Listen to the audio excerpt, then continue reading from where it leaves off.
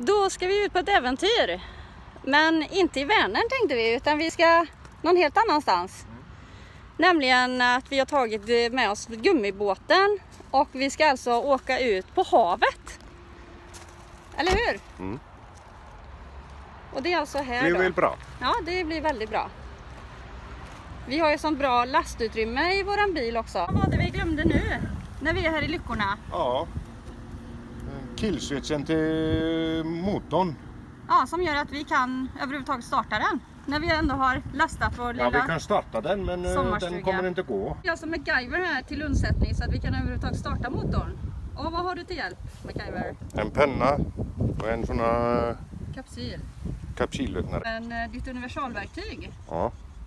Du får aldrig glömma hemma. Ursäkta? Du får aldrig glömma hemma. Nej, just det. Det går ju bra. Ja. Vi är upp några meter i alla fall. Vart är dina solglasögon? Den är det. Där någonstans. Ja, det går ju bra detta.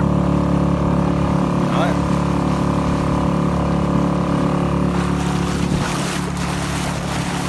Ja. Här är alltså våran lilla semesterö som vi hittade. Fantastiskt väder som vi har. Och vi har nog säkert badat, ja det är, jag vet inte hur många gånger.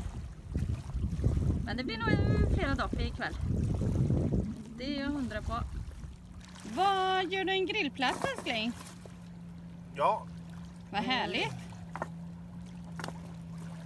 Vilken är Man min, måste sitta skönt också. vilken är min stol då? Eh, det får du välja. Ja, jag tar den till vänster. En gammal gubbe så får man fixa sådana grejer. Kärringen är aldrig nöjd. Nej, Nej. eh, man, här har man åkt eh, 10 000 mil bara för att hon ska komma ut på en ö. Ja. nu var det ju bara 20 minuter men Ja, mm, eller hur? ja. Inga mickar. Bara värme.